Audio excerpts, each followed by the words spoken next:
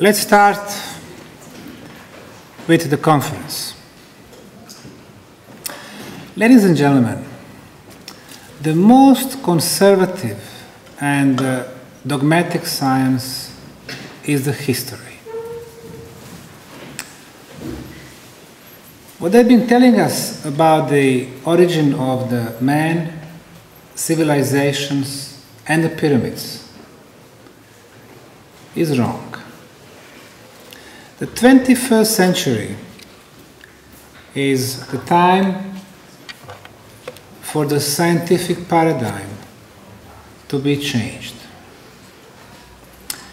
We hope that uh, there will be no more elite science and no more selection of the information. The information we're going to be finding out about the pyramids, the pyramid builders, and the age of the pyramids will be so huge that uh, it will not only shake the base of our science, but it's going to change it all together. They've been telling us for too long that the pyramids were built on Egyptian soil by Egyptian pharaohs, served as a tomb. And for the Mesoamerican pyramids, they are saying they were used as places to sacrifice the enemies. Now we know it is wrong. 20 years from now, they will be laughing at us what we were accepting as a scientific truth. The same way we are laughing at the people who lived at the time of the Galileo Galilei, 500 years ago. Only one civilization, the most recent, in Mexico, were using the pyramid as a ceremonial places to sacrifice the enemy, the Aztecs, 700 years ago. All of them before were using pyramids for something else. You take Encyclopedia Britannica and they will tell you that the pyramids and the pyramid temples are built only in Egypt and Mesoamerica. Now we know it is wrong. They were built on all six continents. Decades in front of us will be bringing so many discoveries of the pyramids, pyramid shaped and conical shaped artificial structures from the ancient history. The notion that uh, the most colossal and the most known pyramid on the planet, the Great Pyramid of Egypt, or Khafre or Khufu's pyramid, which Egyptologists assign to the pharaoh of the fourth dynasty, and it, is, it was used as a tomb.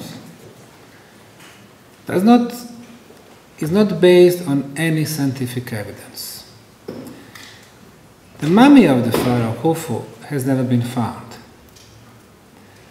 No hieroglyphic writings on the walls of the pyramid, no symbols whatsoever, no tools, no organic material that belonged to the fourth dynasty pharaohs. Four years ago, we had 20 Egyptian archaeologists, Egyptologists, and geologists here in Visoko. Some of them claim, oh, there is nothing here, it's all natural. After we showed them so many proofs, they were still hesitant to claim that we have an artificial pyramidal complex here. On the other hand, when it comes to the pyramids in Egypt, they take that they were built by the pharaohs with no scientific arguments.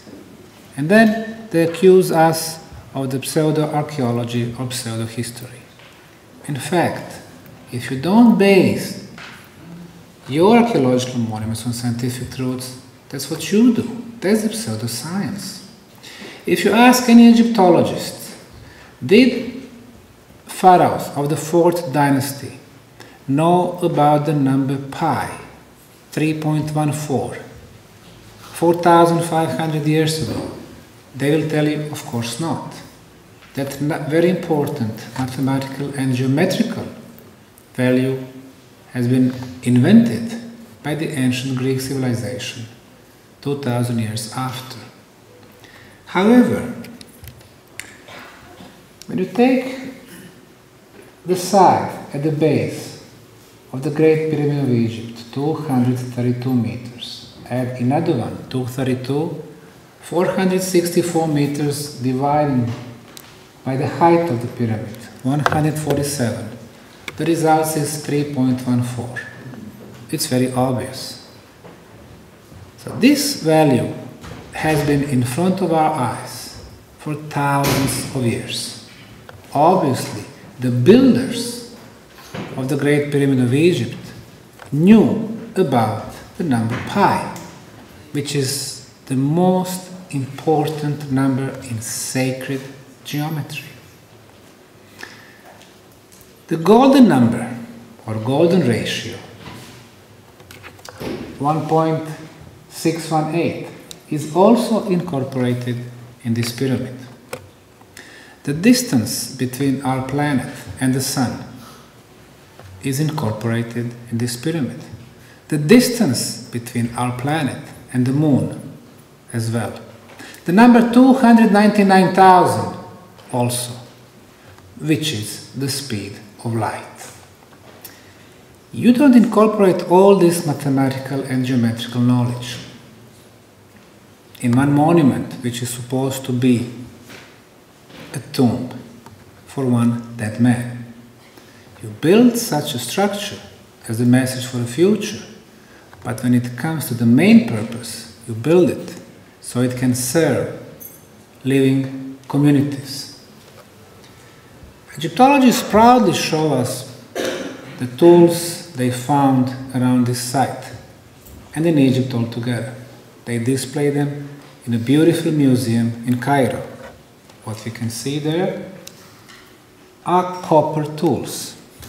No matter how hardened the copper, you cannot shape the granite from Aswan, 900 kilometers south, and then transport those blocks.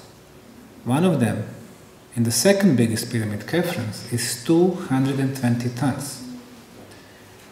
Plus, when you add in other tools, wooden sticks, they want to assure us that the Egyptians did have technology to build such a colossal structure. Funny.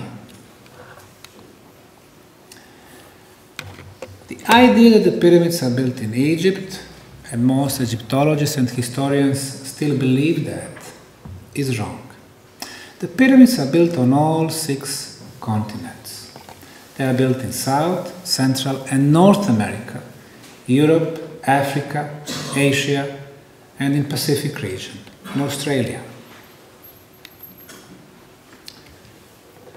This is the biggest Mayan pyramid in northern Guatemala, in the city of El Mirador.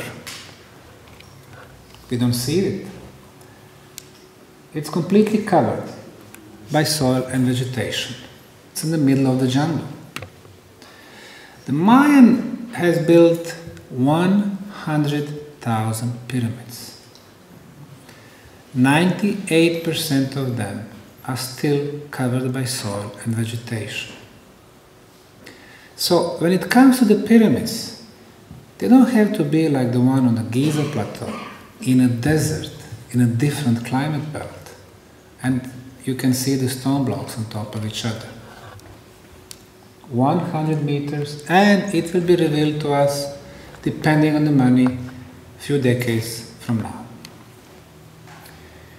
You enter the beautiful city of Palenque, probably the most beautiful Mayan city in uh, central Mexican state of Chiapas. The first sight you see is the pyramid, covered by trees and dirt. San Andres in El Salvador, dozens of pyramids completely covered by soil and grass. Comalcalco, Mexico, dozens of pyramids still covered by dirt. Belize, they used to have 1,000 Mayan cities, towns, and villages. Every one of them would have several pyramids, most of them still in the jungle. Some of them just partially reconstructed. El Cihuatán in El Salvador, one of their freestanding pyramids. Of course, they all look like natural hills. The same thing, this time the Bosnian Pyramid of the Moon. Completely covered in bushes, soil, forest. The Chinese pyramids. 1967, the Chinese archaeologists who were working on them found a lot of archaeological material and he did find tablets with carvings he deciphered them partially. And uh, at the international conference in Japan, he said that they do have pyramids in the central Chinese province of Shaanxi, 250 of them. And the messages that he partially deciphered were telling him that they were built 12,500 years ago. You go to this province today, the access to the pyramid is free, at least to most of them. It was not until 15 years ago. In 1970s, late 1960s, beginning of 1980s, the Chinese government ordered the plants to be planted and the pyramids be hidden from the world. Today, they've been investigating the smaller ones, 230 of them. They do belong to the most recent Chinese emperor, from the Emperor Qin, 2200 years ago. But 20 biggest one, they have not been touched. Talking to the Chinese archaeologists, they told me they don't have permission for them. Why? They are built from sandstone blocks and granite, much superior material than to, the smaller ones, which are built by mud brick. So we do have two different civilizations. Pyramid builder, much more superior, and later civilizations, they tried to make replica unsuccessfully. Same thing in Egypt. The oldest pyramids, Cheops, Khafre, Myceren, Djosers, Sneferus, they are all built by granite and the limestone. Later on, the 12th dynasty, 18th dynasty, by the mud brick, inferior material. Monte Alban, the town of pyramids, the second largest ceremonial center in Mexico, some pyramids are still covered by layers of soil, waiting for a better time to be cleared and reconstructed. Cahuachi area, southern Peru, 34 step stone pyramids. China, the biggest pyramid still covered in bushes and vegetation. And again, Palenque. This is a temple built by Lord Kim, the son of uh, Lord Pakal from the 7th century. However, above is the largest pyramid in Palenque, which has not been cleared yet. It seems that they are making replicas of that largest pyramid. The view of the Pyramid of the Sun in Teotihuacan 150 years ago Today, that's the best known pyramid in Mesoamerica, colossal structure. The reason why I'm not showing you the clear pyramids is they can be found easily, and I had them on last year's conference. The pyramids on US soil, not a word about them in the history books or in the books for the kids and the students in schools. However, we don't have one but 250 pyramids in Cahokia State Park in the US. When you go there, whatever you found there is wrong. They are telling you that these are mounds. Mounds are a pile of dirt. In this particular case, we have four different types of construction materials. In order to build this structure, which has a base 11% larger than the Great Pyramid of Egypt. They were using sandstone blocks, pebbles, rocks, sand, and when they completed the pyramid, They cut the squares of grass and soil, turned them upside down, and covered the pyramids. In order to build this structure, they needed an equivalent of 226,000 trucks with the materials. 20 ton trucks. And they built not one, but 250 of them. Five pyramid complexes, larger one on Italian soil, much, much before the ancient Roman times. This is one of them. Pyramids of Montevecchia. One, two, three.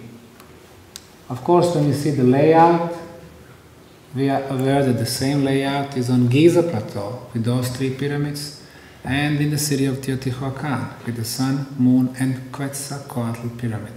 Just with the layout, we can see that uh, the communication between the continents existed thousands and thousands of years in the past. When you do more research, when you realize that all those pyramids have square base, have the same length of the base, have the number pi incorporated in them, then you finally can confirm that not only that the communication existed, but we can see the signature of the same architect. The Pyramid of the Moon, Mexico, Teotihuacan, 154 years ago, completely covered in soil and vegetation. Today, one of the best examples of pyramid architecture.